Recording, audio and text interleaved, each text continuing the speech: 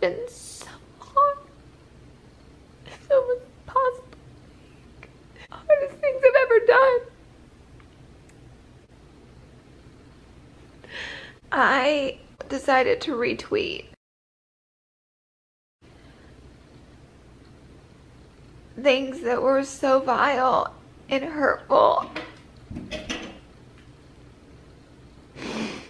I can't even believe that I would retweet.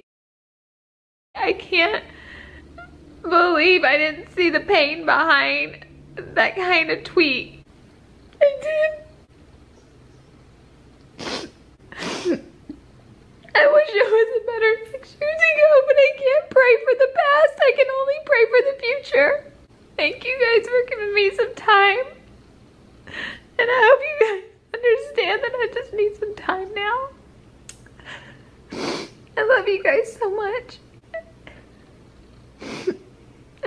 Sorry.